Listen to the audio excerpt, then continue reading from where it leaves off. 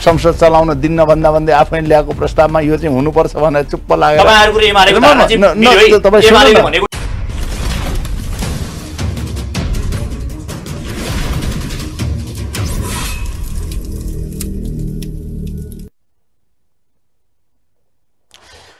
नमस्कार। कार्यक्रम जनताका कुरामा यहाँहरू सबैलाई हार्दिक स्वागत गर्दछु। म हिमाल बस्नेत। आज हाम्रो कार्यक्रम हुनुहुन्छ नेपाली काङ्ग्रेसका नेता रामहरि खतिवडा र नेकपा माओवादीका सङ्घीय सांसद केन्द्रीय सदस्य गजेन्द्र बहादुर महत। केही बाटामा जामको कारण नेपाली कङ्ग्रेसका नेता रामहरि खतिवडा आउँदै हुनुहुन्छ। हामी केही पछाडि उहाँसँग छलफल गर्नेछौँ र यति बेला गठबन्धन सरकारले जुन चुनाव केन्द्रित ध्यान अगाडि बढाएको छ र एमसिसी पास भएपछि यति बेला नेपाली राजनीतिमा स्थानीय तहको निर्वाचनतर्फ छलफल बहस अगाडि बढिरहेको छ।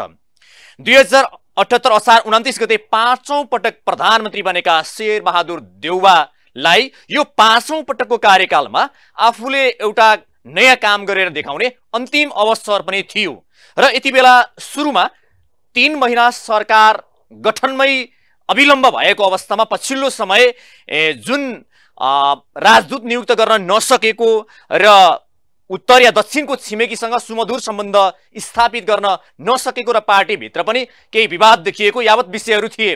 र यो अवस्थामा अब नेकपा माओवादी र नेपाली कङ्ग्रेस बीचमा अब स्थानीय तहको निर्वाचनमा गठबन्धनसँगै अगाडि बढ्ने अवस्था कति छ र नेकपा माओवादी भने यो गठबन्धनलाई नै स्थानीय तहको निर्वाचन या सङ्घीय निर्वाचनसँगै अगाडि लिएर जान चाहन्छ। तर नेपाली कङ्ग्रेस सिङ्गल चुनावमा भिड्न चाहन्छ, एक्लै चुनाव स्थानीय तहको निर्वाचनदेखि अगाडि बढ्न चाहन्छ। नेकपा माओवादी र नेपाली कङ्ग्रेसलाई संयुक्त ढङ्गबाट या गठबन्धन लिएरै निर्वाचनमा जाँदाखेरि फाइदा कति र सिङ्गल सिङ्गल निर्वाचनमा जाँदा फाइदा कति छ? आज हामी स्थानीय तहको निर्वाचन एमसिसी अनुमोदन भइसके पछाडिको पछिल्लो राजनीतिक परिदृश्यको बारेमा छलफल गर्छौँ। म सबैभन्दा पहिला नेकपा माओवादीका केंद्रीय सदस्य, सङ्घीय सांसद गजेन्द्र बहादुर महतलाई स्वागत गर्छु। यहाँलाई कार्यक्रममा स्वागत छ। धन्यवाद नमस्कार। अब पहिले प्रश्न तपाईँलाई मैले के गरेँ भने तपाईँका पार्टीका नेता हुनुहुन्थ्यो हिजो अहिले सभामुख हुनुहुन्छ। जसरी अग्निप्रसाद सापकोटाले मैले एमसिसी टेबल गर्नु पर्यो भने म झुन्डिएर मर्नु मर्न तयार छु भन्ने किसिमको अभिव्यक्ति दिनुभएको विषय त सार्वजनिक भयो। अब एउटा नेता भएको व्यक्ति त्यो सम्मानित पदमा रहेको व्यक्तिले जे बोल्दा पनि हुन्छ। उहाँले त्यसको बारेमा त खण्डन गरिसक्नु भएको छ नि। उहाँको? सचिवालयले खण्डन गरिसकेको छ। त्यो उहाँले बोलेको आधिकारिक ए उहाँले बोलेको होइन त्यो? होइन त्यो सामाजिक सञ्जालमा त्यो मतलब उहाँ मतलब त्यो त्यस्तो आवाज हुने खालको कुरा गर्नुभयो भनेर एउटा मतलब बाहिर आएको कुरा मात्रै हो। उहाँले बोलेको कुरा होइन। अब अर्को विषय मैले। आज नेकपा माओवादी पार्टीलाई नेपाली कङ्ग्रेसले यसरी रिङ्गाएको छ कि उठ भने उठ बस भने बस। त्यो अवस्थामा नेपाली कङ्ग्रेसले तपाईँहरूको पार्टीलाई पुर्याएको छ भन्छ नि हो। अब मान्छेले बाहिर भन्दा त अझ के भन्छन् भने नेपाली कङ्ग्रेस प्रचण्ड पद मान्दै अगाडि बढेको छ। अथवा प्रचण्डकै इसारामा चलिरहेको छ। ए नेपाली कङ्ग्रेसको भन्दा त्यो भन्छन् मान्छे। एउटा त्यो त आइरहेको छ नि बजारमा आइरहेको प्रश्न आइरहेको छ नि। त्यो भन्दा त्यसो भने तर त्यसो होइन फेरि। नेपाली कङ्ग्रेसले चलाएर माओवादी चलाए पनि होइन। र माओवादीले चलाएर नेपाली कङ्ग्रेस चलाए पनि होइन त्यो। के हो भने यो गठबन्धन हो। र हामी अहिलेसम्म जसरी सहकार्य गरेर अगाडि बढेका छौँ सहमति सहकार्य गरेर अगाडि बढेका छौँ सायद केही लामो समयसम्म यसरी सहमति अहिले प्रचण्ड चाहिँ शेरबहादुर देवाको प्रति छाया जस्तो भइरहनु भएको छ। भन्छन् फेरि। त्यसो होइन। त्यो छाया छाया कुरा होइन। यो त सहकार्य नै हो। यो दुईवटा तिनवटा पार्टी अब चार पाँचवटा पार्टी छन्। पाँचवटा पार्टी बिचमा हुने सहकार्य हो। यो कुनै छायाको कुरा होइन यो। अनि नेकपा एमाले र काङ्ग्रेस बीच समीकरण गरेर एमसिसी पास गर्ने अनुमोदन गराउनेतर्फ छलफल हुँदै थियो। तपाईँहरू चाहिँ हार गुहार गरेर रातारात दौडधुप गरेर नेपाली कङ्ग्रेसको ढोका चाएर पुग्नुपर्ने अवस्था किन आयो त? नै नै त्यसो पनि होइन। त्यो रातारात पनि होइन त्यो त्यसो। समयमा अब यसो हेर्दा त हामीले देखेको कुरा दौडधुप अब को कति दौडमा थिए त्यो त अब यथार्थ कुरा बाहिर छल्लङ्ग देखिएकै छ। तर के थियो भने हुन त अब हामी जति बेला गठबन्धन बनायौँ त्यति बेलाको एउटा न्यूनतम साझा कार्यक्रम आएको थियो। त्यसमा हामीले एमसिसीलाई प्रवेश गराएको थिएनौँ। मलाई गठबन्धनले प्रवेश गराएको थिएन। तर पनि अब सरकारमा बसिसकेपछि एउटा मतलब एउटा स्वाभाविक हिसाबले एउटा परिबन्ध भनौँ एउटा यसले स्वाभाविक हिसाबले सरकार अगाडि बढ्दा यो एमसिसी अब हाम्रो एउटा विषय बन्यो। यो गठबन्धन सरकारको विषय बन्यो। र त्यसपछि के भन्यो भने यसलाई अब निर्णायक चरणमा लिनै पर्ने भएपछि भएपछि एउटा प्रश्न तपाईँ एउटा माओवादीको एउटा मेन्दार नेता हुनुहुन्छ। तपाईँका पार्टीका नेताले एमसिसी अनुमोदन भइसके पछाडि के भन्नुभयो भने व्याख्यात्मक घोषणाको सुनियोजित भ्रम छँदै राष्ट्रघाती एमसिसी संसदबाट अनुमोदन गराइ छाडे भनेर उहाँले भन्नुभएको छ। हो त्यो त हो।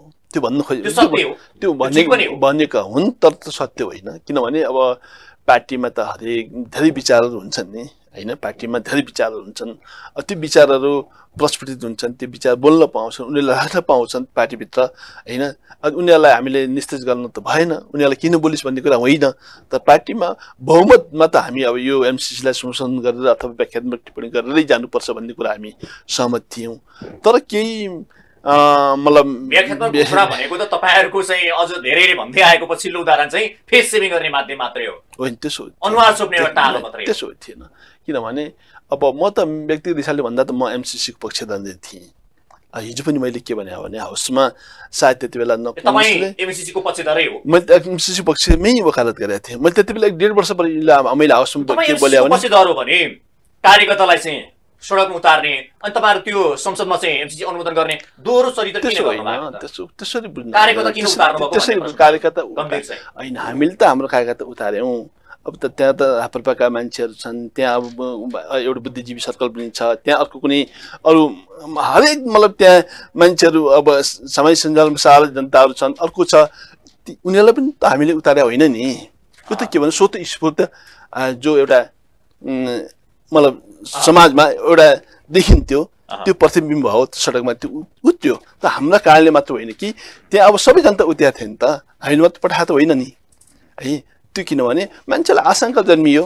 आशंका जन्मेपछि मान्छेहरू भ्रमित भए सडकमा गयो।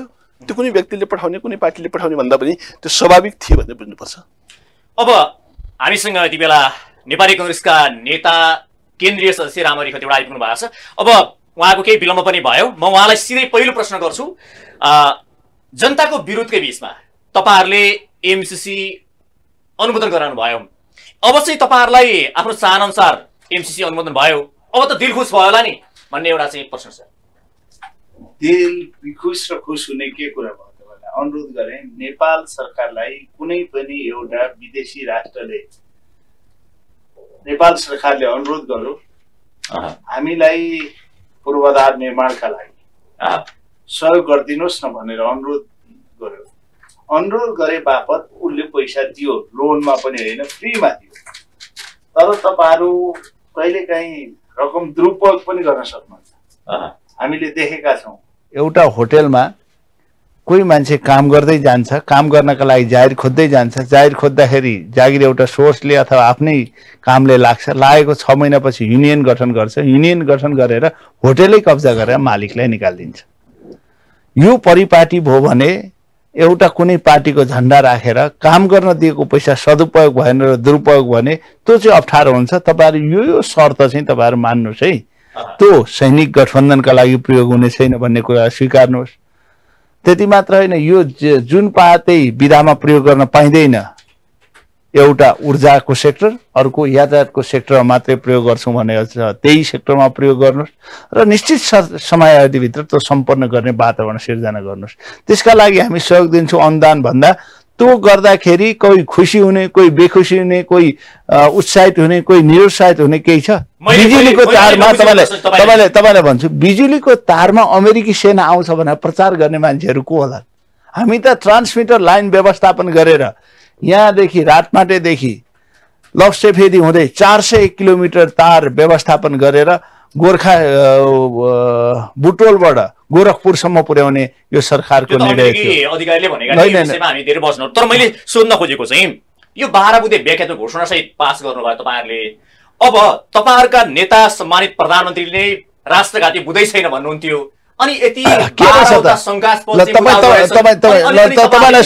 राष्ट्रघाती एउटा चाहिँ कुन रहेछ? तपाईँ भन्नुहोस् त बाह्रवटा होइन। एउटा कुन रहेछ? होइन एउटा तपाईँ देखाउनुहोस् न एउटा चाहिँ राष्ट्रघाती कुन हो? नेपाल मैले म तपाईँलाई भनिहाल्छु। यो मैले मात्रै भनेको होइन कि उहाँलाई सोध्नु माओवादीका होइन म अरूसँग कुरा गर्ने। मलाई सोधेको प्रश्नको जवाब मैले दिने कि उहाँले दिने? तपाईँकै पार्टीको गठबन्धन गर्ने नेताहरूको यो चाहिँ बाह्र बुधे व्याख्यात्मक घोषणा तपाईँलाई एउटा कुरा। एउटा कुरा भनौँ। कुनै पनि देशमा त्यो देशमा म सुन फेरि फेरि तपाईँ अन्त। जानुभयो। देव देव गुरुङको कुरा देव गुरुङलाई सोध्नुहोस्। उहाँलाई बोलाउनु भएको छ उहाँले आफ्नो कुरा भन्नुभएको छ मलाई बोलाउनु हो मेरो कुरा भन्छु। झलनाथ खनालको कुरा झलनाथलाई सोध्नुहोस् के अर्को राहुल हुनुहुन्छ नि पिएचडी गरेको? के अरे? भीम नि? पिएचडी गरेको। पिएचडी गरेको मान्छे हेर्नुहोस् त देशको बारेमा बोल्दाखेरि उहाँ कुनै बेला रक्षा मन्त्री हुनुहुन्थ्यो। रक्षा मन्त्री हुँदा दुई हजार सोह्र जुलाई सातका दिन क्याबिनेटबाट निर्णय गरेर त्यो अनुमोदनका लागि पठाउनका लागि हस्ताक्षर गर्न पठाउनका लागि उहाँ मन्त्री हुनुहुन्थ्यो त्यतिखेर चोखसम्म पनि बोल्नु भएन। जब मन्त्रीबाट हट्नुभयो यहाँ होइन सिसीका मात्रै कुरा गर्न पनि तयार हुने। म बाह्र बजेको बारेमा पनि तपाईँलाई स्पष्ट गर्न चाहन्छु। म तपाईँलाई कसैलाई कन्फ्युजिङ भयो। नेपालमा अरू कानुन लागू हुन्छ भन्ने कहीँ उल्लेख होला। नेपालको संविधान बाहेक कहीँ होला। अडिट अमेरिकाले गर्छ भन्ने कुरा पत्याइएला कसैले? नेपालमा आएर यस्ता यस्ता कुराहरू कसैले बुझेका छैन भने यी कुरा चाहिँ ल यी क्लियर कुरा यी हुन् है भनेर हामीले उल्लेख गरेका जुन कुरा पहिलेबाटै एमसिसी को बारेमा अमेरिकन सरकार र एनसिसीले नै भनिसक्यो यसलाई हामी स्वीकार्छौँ। कुनै नयाँ कुरै छैन नेपाली भनिसक्यो कङ्ग्रेसको लागि हो। बाह्र बुधे व्याख्यात्मक घोषणा आवश्यक होइन। तपाईँहरूसँगै रहेर सबैका लागि होइन कसैले बुझ्नु भएन। म तपाईँलाई भने कसै कसैले बुझ्नु भएन भने तपाईँले पनि बुझ्नु भएन भने बुझेको थिएन भने यी कुराहरू चाहिँ क्लियर हुनुहोस्। नेपालमा नेपालकै कानुन लाग्छ यहाँ सम्पत्ति सम्बन्धी कानुनहरूको लाग्दैन त्यसपछि लेखा परीक्षण नेपालबाटै हुन्छ महालेखा परीक्षकले गर्छ अर्थ मन्त्रालयको सचिवको संयोजकता कमिटी गठन हुन्छ त्यो कमिटी अन्तर्गत ऊर्जा र भौतिक पूर्वाधारका सहसचिवहरू टेन्डरको आह्वान गर्छन् यो अनुदान सहयोग हो यसमा काहीँ पनि कुनै शर्तहरू छैन भन्ने कुरा क्लियर गर्न के गाह्रो थियो त? त्यसो भए उहाँका मैले यो व्याख्यात्मक घोषणा चाहिँ तपाईँहरूले नबुझेर जस्तो नेपाली कङ्ग्रेस त व्याख्यात्मक घोषणाको त बारेमा उहाँले भनिहाल्नुभयो व्याख्यात्मक घोषणा तपाईँहरूलाई चाहिएको या चाहिँ तपाईँले नबुझेर हो? त्यसो होइन। कसलाई त? यो हामीले के स्वीकार्नुपर्छ भने अब यो जनता त विभाजित भयो नि त जनता त भ्रमित भयो नि त। जनतालाई जनता त आशङ्कित आशङ्कित त भयो नि त। ए बा हामी मात्रै छैनौँ नि त तल मतलब फिल्डमा त। त जनतामा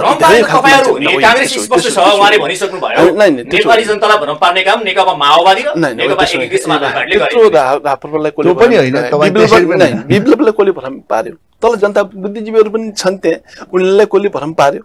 भ्रम पर्यो। भ्रम नपर्ने भन्ने त होइन नि। भ्रम त परिहाल्छ पर्यो। त्यसमा जिम्मेवारी हामी सरकारमा भएको नाताले अथवा ठुलो पार्टीको नाताले हामी नेता भएको नाताले त्यो भ्रम चिन्न सकेनौँ। एउटा दोषी त करार हुने नै भयौँ। तर के भने यसलाई नेगेटिभ ढङ्गले भन्दा के बुझ्नुपर्छ भने तल भ्रमित भयो जनता। जनता विभाजित भयो। जनता विभाजित भइसकेपछि यो त फिल्डमा जाँदाखेरि जनताकै लागि हो त आखिर यो। होइन? यो प्रोजेक्ट अब भनेपछि त जनतालाई केही न केही हिसाब सम्बोधन त गर्नै पर्छ हामी त उनीहरू जस्तो अघिल्लो दिनसम्म तपाईँहरू एमसिसी अब यो अलिक अलिक पुरानो भयो तपाईँ एउटा अन्तिम प्रश्न गरौँ। अनुमोदन नगराउने पक्षमा या चाहिँ संशोधन गरेर मात्रै पास गर्ने पक्षमा हुनुहुन्थ्यो। त्यो केही समयको दौडमा चाहिँ तपाईँहरू सरकार पनि घुम्ने भयो। उता नेकपा एकीकृत समाजवादी पार्टीका चौधजना सांसदको पनि जारी जाने भयो भनेर माधव कुमार नेपालले प्रशासनसँग हार गुहार गर्नुभयो। त्यस कारणले गर्दा तपाईँहरू भने सरकारबाट बाहिर पर्ने डरले गर्दा एमसिसीको त बजारमा आएको यो हल्ला पनि हो। यो यसलाई पनि हामी अस्वीकार गर्न मिल्दैन। त कुरो के हो भने एउटा जिम्मेवारी संस्थामा बसिएपछि एउटा सरकार सम्हालिसकेपछि अब गठन बसिसकेपछि त होइन यसलाई हामीले नजरअन्दाज गर्न हुँदैन। अमेरिका मैले त भनिदिएको थिएँ हाम्रो अध्यक्षले मैले के भनिदिएँ भने अध्यक्ष कमरेड यो कुरामा अब यो यो पनि अब यसो हेर्दा अमेरिका पनि हाम्रो के देखिँदो रहेछ भने करिब करिब हाम्रो अनुदानमा एउटा पहिलो श्रेणीमै हामी देखिँदो रहेछ कि? मैले धेरै डाटा हेरेँ अर्थ मन्त्रालयमा गएर अन्तर्राष्ट्रिय सहयोगमा भने लामो समयसम्म अमेरिकाले अनुदानको हिसाबले होस् अब विश्व ब्याङ्कको हिसाबले होस् एडिपीको हिसाबले सरसहयोग गरिराखेकै छ आजसम्म होइन? त्यसो भए हुनाले हामीले अहिले नै सामान्य बजारमा आशंका हुँदैमा जनतालाई बुझाउन नसक्नु भएको चाहिँ हो मैले त हाउसमा बोलेँ चाँडो बुझाउनुहोस्। त्यति बेला मान्छे पछिल्लो अवस्था पछिल्लो पिरियडमा जति मान्छे यसको मैले डिफेन्स गरेँ नि। त्यो डिफेन्स अलि अगाडि गर्नु पर्थ्यो मैले हाउसमा भन्ने तपाईँ चुप लागेर नबस्नुहोस्। नेपाली कङ्ग्रेसलाई भन्यो मैले नेकपालाई भन्यो त्यति बेला। होइन मलाई उगी थियो नेकपाकै सरकार थियो। हाम्रो पार्टीलाई भने मैले। विषयमा उहाँसँग जान्छु जस्तो अमेरिकी सहायक विदेश मन्त्रीको एक कल फोनमा तपाईँको पार्टीका नेता अन्य पार्टीको नेताको मासी गले र तपाईँहरू अनुमोदन गर्न बाध्य हुनुभयो भन्ने एउटा आरोप लाग्यो तपाईँहरूलाई। तपाईँ कस्तो तपाईँ जस्तो पत्रकार पनि खालि भ्रमका कुरा गरिदिने तपाईँले पनि। म तपाईँ कहिले भन्नु तपाईँले? हाम्रो संसद दलको नेता प्रधानमन्त्री पार्टी सभापति शेरबहादुर देउवा प्रतिपक्षमा होस् कि सत्ता पक्षमा होस् जतिखेर जाँदा पनि एमसिसी एमसिसी पास गर्नुपर्छ पास गर्नुपर्छ भनेको नेपालको राजनीतिमा जहाँसुकै हुँदा पनि स्ट्यान्ड लिएको नेता उहाँभन्दा बाहेक कोही देख्नुभयो तपाईँले? कोही देख्नुभयो। तर अब यसमा तपाईँले विवाद गर्नुपर्ने किन जरुरी आज म देख्दिनँ भन्नुहुन्छ भने नेपालमा चुचे नक्सा पछाडि। सम्पूर्ण पार्टीहरूको मजदुर किसान पार्टी अनि जनमोर्चा र राप्रपादेखि बाहेक सबै पार्टीको समर्थनमा पास भएको छ यो त एमाले सहयोग गरेको छ संसद चलाउन दिन्न भन्दा भन्दै आफैले ल्याएको प्रस्तावमा यो चाहिँ हुनुपर्छ भनेर चुप्प लागेर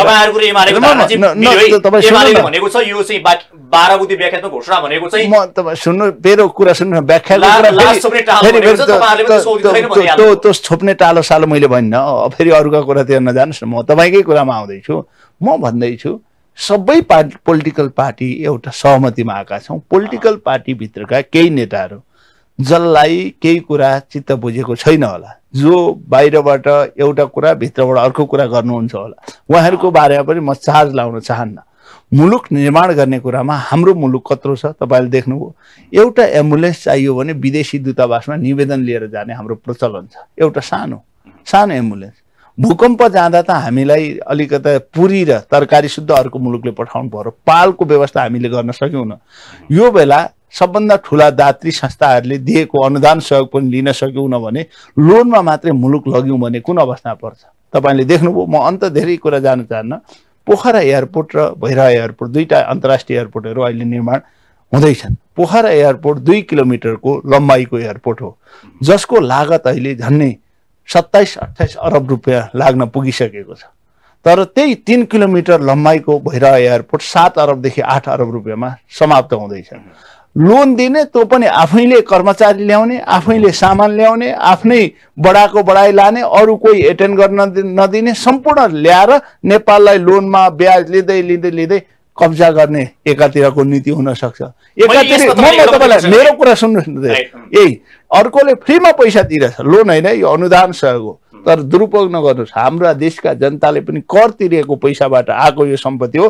तपाईँका देशमा आएर फेरि दुरुपयोग गरेर तपाईँ आफै यसमा कमिसन खाने भ्रष्टाचार गर्ने बदमासी गर्ने र प्रोजेक्टलाई वर्षौँ वर्ष लम्ब्याएर लाने काम नगर्नुहोस्। यति वर्षसम्म सम्पन्न गर्नुहोस् नेपालको समृद्धि र विकासका लागि। ऊर्जाको विकासका लागि। या त हामीलाई थाहा छ नि नेपालमा अठार घन्टा लोड सेडिङमा हामी बस्नु परेको होइन। हामीले उत्पादन गरेको विद्युत हामी बोकेर डोकामा लिएर जान सक्छौँ सक्दैनौँ नि।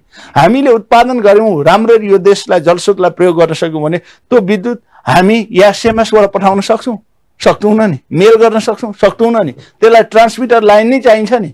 त्यो पनि धेरै क्षमता भएको लाइन चाहियो नि। चार सय केबी प्रसार लाइन भएको चार सय किलोमिटर लाइन व्यवस्थापन गर्नुपर्ने छ। यति ठुलो प्रोजेक्ट यसरी सरल रूपमा आउँदाखेरि विभिन्न बाहनामा राष्ट्रघाती हुने। यो यो पनि कुरा एउटा प्रश्नको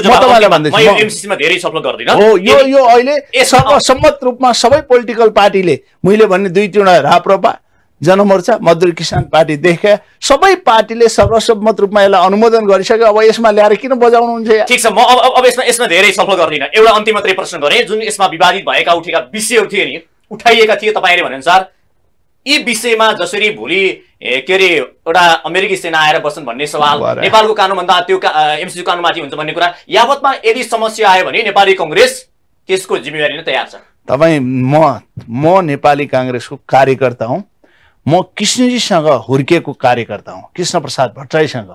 जो नेता कुनै दिन पनि भारत प्रवासमासम्म जानु भएन र नेपालमै बसेर नेपालको राजनीति परिवर्तन गर्न सक्छु भनेर एउटा दृढ इच्छा शक्तिका साथ नेपालमै सत्याग्रहको मुभमेन्टबाट नेपालको राजनीति परिवर्तन गरेर स- सकिन्छ भनेर त्यो राजनीति मुभमेन्टबाट राजनीति परिवर्तन पनि गर्नुभयो त्यो इच्छा शक्तिबाट त्यही नेताको कार्यकर्ता हुँ। तपाईँलाई म अनुरोध गर्न चाहन्छु हामी भारत प्रसाद नाउँ लेख्ने द्वारिकानाथ नाउँ लेख्ने काशीनाथ नाउँ लेखेर भारतको विरोध गर्ने अनि बिल क्लिन्टन र वासिङटनका नाउँमा स्कुल खोल्ने अनि कलेजको नाउँ त्यही राख्ने र अमेरिकाको विरोध गर्ने प्रवृत्तिमा हामी जाँदैनौँ। हामी सबै मित्र राष्ट्रसँग समान व्यवहार लिएर जान्छौँ तर तपाईँलाई यति विश्वास दिलाउन चाहन्छु यही प्रोजेक्टमा अमेरिकी सेना आयो हाम्रो सम्पत्ति उसले लग्यो त्यहाँ ल्याएर हामीलाई बलात्कार गर्यो भन्ने जुन प्रश्न गरिन्छ नि यहाँ तपाईँले सुन्नुभएको थियो।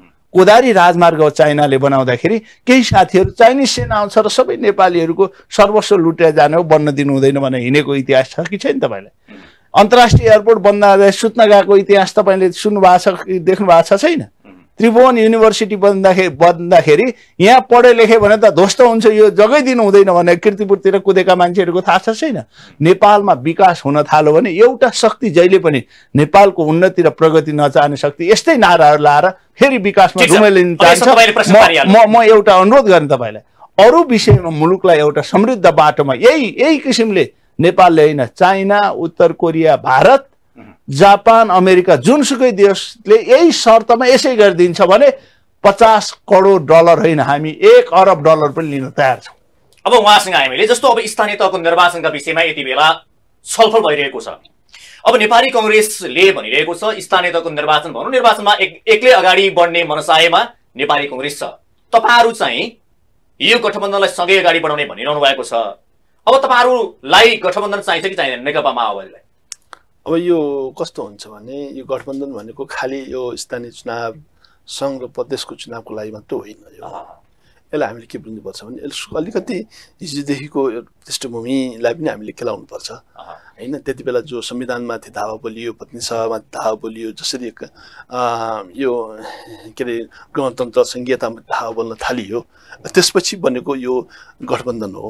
यो त्यत्तिकै रहरमा लह लहैमा अ, कुनै एउटा नेताको चाहनामा यो बनेको होइन। त्यसो भए हुनाले यो कुनै यो भोलि बल्ल नबल्ला अलग कुरा हो। त्यही पनि अब बहसको विषय बनिराखेकै छ।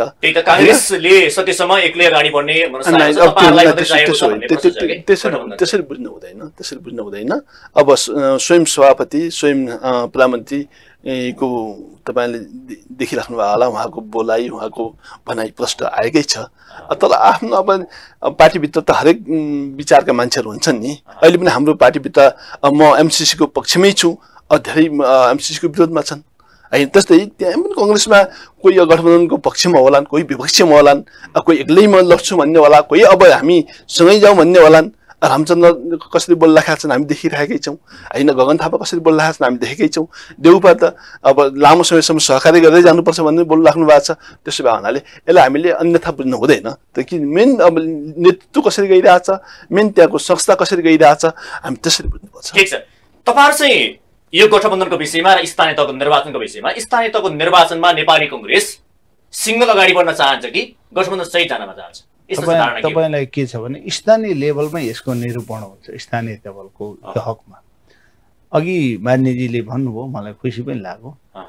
ठाउँ हेरेर अवस्था हेरेर।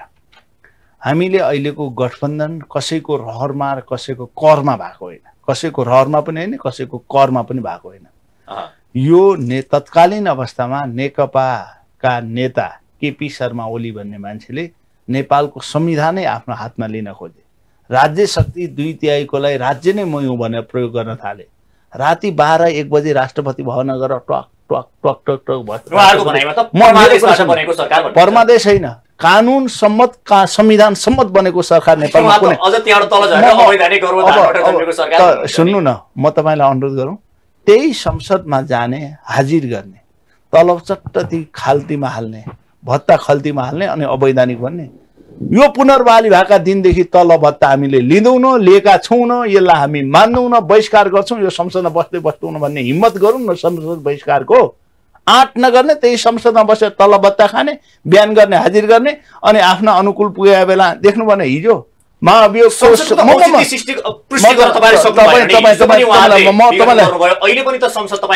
तपाईँलाई- म- भन्दैछु। हाम्रो चाहना नेपालमा सधैँ संसद यसै गरी जान सक्ने अवस्था भएन भने स्थिर सरकार हुनुपर्छ भन्ने कन्सेप्टमा यो संविधान निर्माण गरेको हो हामीले।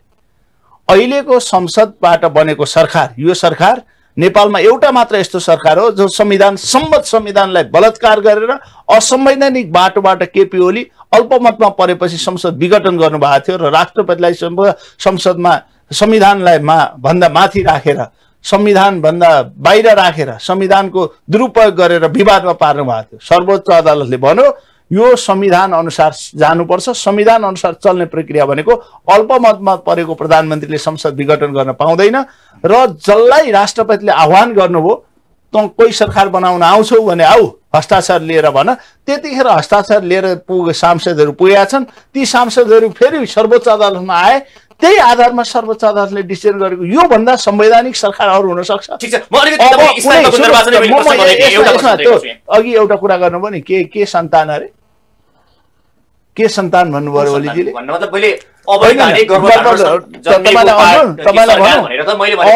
र वैधानिकको कुरा गर्नुहुन्छ भने म उहाँलाई सोध्न चाहन्छु। नेपालमा एउटा कार्यालय सहयोगी सामान्य कार्यालय सहयोगी छ महिना करारका लागि नियुक्ति गरिएको थियो र तिन महिना निकाल्यो भने त्यो मान्छेसित बबन्डर गरेर कराएर सडकमा ढुङ्गा हानेर फुर्ती गरेर हिँड्छ भने देशको कार्यकारी प्रधानमन्त्री त्यो पनि आफ्नै बुद्धिका कारणले। कसैले होइन है? यो प्रचण्डले पनि होइन माधव नेपालले पनि होइन शेरबहादुर देवालले पनि होइन। केपी ओली आफैले हटाएर बर्बाएर बर्बाद रूपमा यो चाहिँ के भन्छ भने त्यसलाई म शब्द दुरुप अप्ठ्यारो शब्द प्रयोग गर्न सक्नुहुन्न। अरूले भन्ने शब्द म प्रयोग गर्न चाहन्न। अब सहन नसकेर रातिमा निन्द्रामा बर्बाएर जस्तो गरेर बर्बराउनुसँग केही छैन। यी शब्दप्रति उहाँले एकचोटि फेरि पब्लिकली माफी माग्ने बेला आउँछ। मैले संविधान विरुद्ध यी कुराहरू गरेँ कानुन विरुद्ध गरेँ भन्ने माफी माग्ने बेला आउँछ। यो चाहिँ स्पष्ट पारिदिनुहोस् न। स्थानीय तहको निर्वाचनमा तपाईँले आवश्यकताका आधारमा चाहिँ भन्नुभयो तर तपाईँहरूको पार्टीको एउटा खेमाले त नेपाली कङ्ग्रेस एक्लै अगाडि बढ्नुपर्छ भनेर दिइरहेको छ हाम्रो। पार्टीमा खेमा नै। सुन्नुहोस् हाम्रो पार्टीमा खेमा नै छैन पार्टी सिङ्गल पार्टी सिङ्गल रूपमा निर्णय गर्छ आज चाहे त- मेरो। कुरा- मेरो कुरा सुन्नुहोस् न सेन्ट्रल कमिटीबाट निर्णय भएर यो गठबन्धन बनेको हो। नेपाली काङ्ग्रेस केन्द्रीय कार्य समितिबाट अघिल्लो केन्द्रीय कार्य समितिबाट निर्णय भएर बनेको गठबन्धन हो यो गठबन्धन टुट्नका लागि पनि सेन्ट्रल कमिटी मिटिङ बस्नुपर्छ र टुटाउने अरू गर्ने हो भने पनि अहिले त केही भएको छैन। पार्टीले संस्थागत रूपमा निर्णय जे गर्छ त्यसलाई हामी मान्छौँ। तर अहिलेसम्म को सिङ्गल लड्ने को डबल लड्ने को भन्ने छलफल भएको हुन्छ। तपाईँलाई एउटा कुरा भनौँ। मैले मेरो मनमा लागेको कुरा भने यो रामरी पनि केन्द्रीय सदस्य हो उसको बनाए भने कसैले ए फलानले यसो भन्नु काङ्ग्रेसको धारणा काङ्ग्रेसको आधिकारिक धारणा सेन्ट्रल कमिटीको मिटिङले निर्णय गरेपछि आउँछ। कसैले आफ्ना कुरा राख्न पाउनुहुन्छ?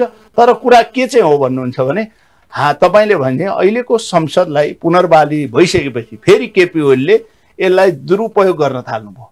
एकातिर सदनमा गएर सत्ताको स्वाद लिने तलब भत्ता बुझ्ने अर्कोतिर सदन चल्न नदिने। मैले विघटन गरेको संसद अरू प्रधानमन्त्री भएको यही संसदबाट देख्न चाहन्छु भन्ने जस्तो इगोको आधारमा चलाउन थाल्नुभयो। यसै गर्नुभयो भने हामी निरन्तर तपाईँसँग अनुरोध गऱ्यौँ यसै गर्नुभयो भने सधैँ तपाईँहरूलाई संसदमा बसिरहनुपर्छ भन्ने छैन। हामी सबै पोलिटिकल पार्टीसँग गरेर अर्ली इलेक्सनमा जान सक्ने सम्भावना जीवित छै भनेर हामीले भन्ने चाहिँ भनेको अर्ली। इलेक्सनको विषयमा त तपाईँहरूलाई प्रश्न गर्ने ठाउँ छैन। हिजो केपी शर्मा ओलीले अर्ली इलेक्सन जाउँ भन्दा तपाईँहरूले त्यसमा यो फरक म तपाईँलाई एउटा यो फरक छ त्यतिखेर।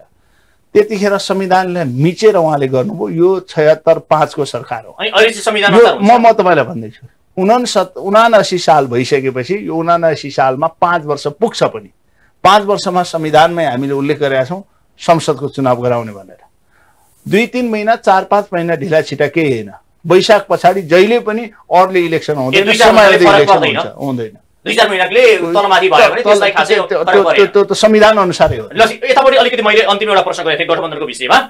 नेपाली कङ्ग्रेसले अब तपाईँले तपाईँहरूको मनसाय नि। नेपाली कङ्ग्रेस यदि तपाईँहरूलाई गठबन्धन बिनै अगाडि बढ्ने मनसाय गर्यो भने तपाईँहरू माओवादी पार्टी एमालेसँग या समाजवादीसँग त तपाईँहरूले गठबन्धन गर्ने मनसायमा हुन्छ। एमालेसँग समीकरण गर्छ के गर्छ? त्यसो हुँदैन। अहिले एमएलएसँग भन्ने अब त्यो त्यहाँ अब कस्तो हुन्छ भने के बुझ्नु होला भने अब हामी स्थानीयमा अब स्थानीयमा दुईवटा हुन्छ एउटा वडा र एउटा पालिका पालिका। पालिका भयो होइन? अब यहाँ स्थिति यस्तो छ कि तर ओडामा कसरी जान्छ भन्ने कुरा अहिले नै हामीले यहाँ ठम्याउन सक्ने अवस्था छैन।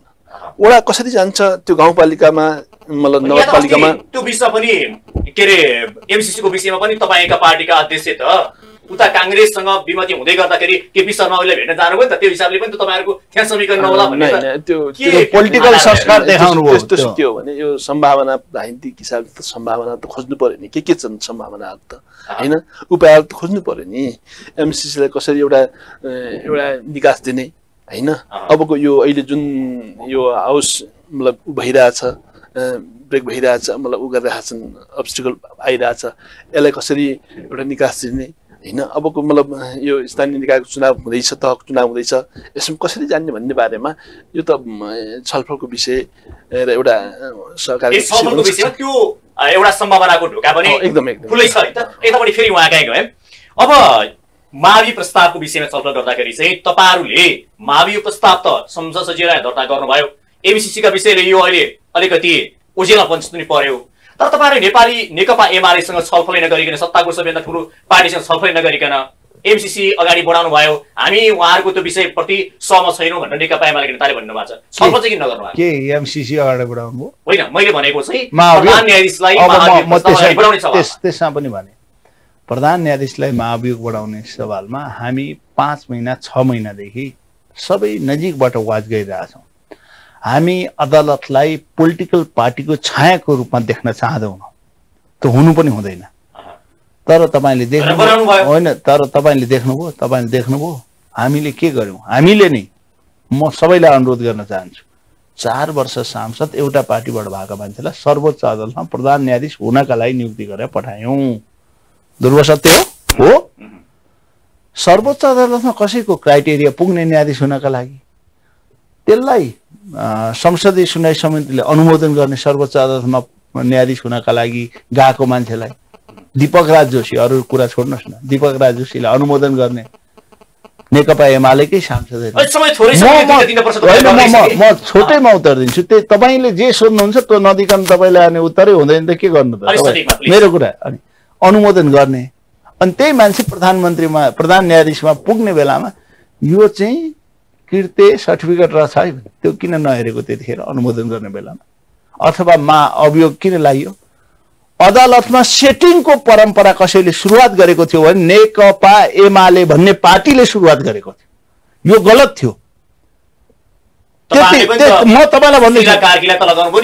तपाईँलाई म भन्दैछु त्यो बारेमा फेरि त्यो बारेमा फरक धारणा म राख्छु फेरि। त्यतिखेर पनि म सांसद थिएँ।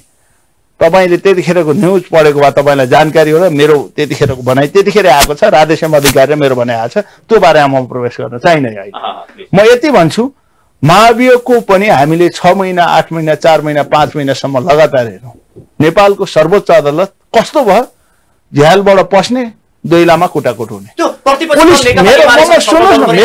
अब म। यही विषय जाँदैछु अनि बिहान न्यायाधीश जान्छन् फेरि एउटा कुट्छ एउटा ल वकिलहरू बिच कुटाकुट यताबाट भाग्ने उताबाट छिर्ने। यताबाट छिर्ने उताबाट भाग्ने।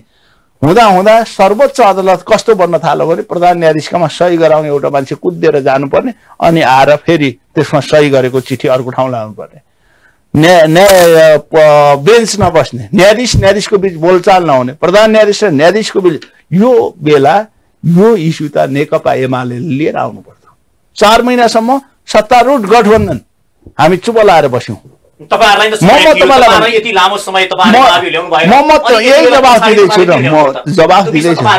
म- जवाफ दिँदैछु त। म? जवाफ दिँदैछु त चार महिनासम्म हामी चुप लाएर बस्यौँ? चुप केही कारणले बस्यो किनभने यो सकभर यो काम प्रतिपक्ष दलले गरेदेखि अझ सुहाउने हुन्थ्यो भनेर बस्यौँ। प्रतिपक्षले फेरि म तपाईँलाई जवाफै नदिकन फेरि तपाईँ क्वेसन गर्नु किन भन्नुहुन्छ भने यस्तो व्यथिति हुँदा पनि सरकार चुप लाएर बसो भनेर उहाँहरूले ल्याएको भए यसको क्रेडिट हुन्थ्यो। अब भएन। प्रतिपक्ष केही गर्दैन। प्रतिपक्ष यसै गरी त्यसलाई किचलो गरेर राख्न चाहन्छ भन्ने लाग्यो त्यसपछि हामीले महाभियोग प्रस्ताव ल्यायौँ। भोलिपल्ट केपी ओली एउटा कुरा गरौँ। एउटा सुनेको कुरा के गरे पाँचवटा गर्नुहोस् न जसरी एमालेका नेता अध्यक्ष केपी शर्मा ओली र प्रधान न्यायाधीश बीच चाहिँ केही भित्रभित्रै खिचडी पाग्दैछ भन्ने सुनेको पाएपछि मात्रै तपाईँहरूले महाभियोग प्रस्ताव अगाडि बढाउनु भएको भन्ने कुरा छ। हो त्यो हो भने पनि नेपालको राजनीतिमा न्यायपालिकाको प्रमुख प्रतिपक्षी दलको नेताकामा सुटुक्कति कुद्दै हिँड्ने प्रतिपक्षीको दलको नेताको जस्तो कार्यकर्ता भएर न्यायपालिका हिँड्न थाल्यो भने अनि गर्नुपर्छ पर्दैन त। त्योभन्दा अगाडि तपाईँहरू हो यही नहोस् भन्ने हामी चाहन्थ्यौँ। न्यायपालिका कुनै पोलिटिकल पार्टीको संयन्त्र र चासोको मात्र होइन। कुनै पोलिटिकल पार्टीको डोरी नबनोस् र त्यसमा तार्ने हतियार नबनोस् भन्ने हामी चाहन्थ्यौँ। त्यो गर्न थालियो भने झन् अपराधपूर्ण कार्य हो नि। त्यसैले पनि महाभियोग त ल्याउनै पर्छ। तपाईँले देख्नुभयो प्रधान न्यायाधीशका नातेदारहरूका घरमा बिहानदेखि न्यायपालिकाका मान्छेहरू लाइन बस्नुपर्ने टोकन काटेर अनि हाक्काहाक्की पैसा बुझ्ने परम्पराको सुरुवात हो भनेर बाहिर मिडियामा आएको तपाईँले देख्नै भएको छ। विवादी बनाउने काम त सुरुमा तपाईँहरूले गर्नुभयो नि। के गर्यौँ हामीले? अब मन्त्री भागबण्डामा नियुक्त गर्यो त्यो बेला पनि तपाईँलाई एउटा कुरा भन्दैछु। हो न्यायपालिकाका प्रमुखले मन्त्री खोज्ने न्यायपालिकाका प्रमुखले सुन्नु न, त्यो त सभापतिले त के बनाइदिनु भयो मेरो कार्यकर्ता बनाइदिनु भयो हामीले न्यायपालिकाको प्रमुखको नातादार सम्धि दुःख पाएकै मान्छे हो उहाँको बारेमा? होइन पार्टीले मूल्याङ्कन गर्नुपर्छ हमालजीको बारेमा। अहिले त्यो इस्यु हो भने पनि भोलि पनि उचित मूल्याङ्कन गर्ने बेला आउँछ। ल ठिक छ। म जस्तो अन्तिम तपाईँ आए। अब मावि प्रस्ताव तयार पार्ने पारित गर्ने सवालमा त नेकपा एमालेको भूमिका अनिवार्य छ भन्ने सवाल त छँदैछ अब नेकपा एमालेसँग तपाईँहरू सक्नु हुनुहुन्छ कि छ नेकपा माओवादीको चाहिँ? तत्काल कुनै त्यस्तो इस्यु छैन। तर अब यो महाभियोग एउटा इस्यु बनाएको छ त्यसमा-। एमालेको ऊ पनि कमि मतलब मान मान्यहरू पनि त्यसमा उयो छन्।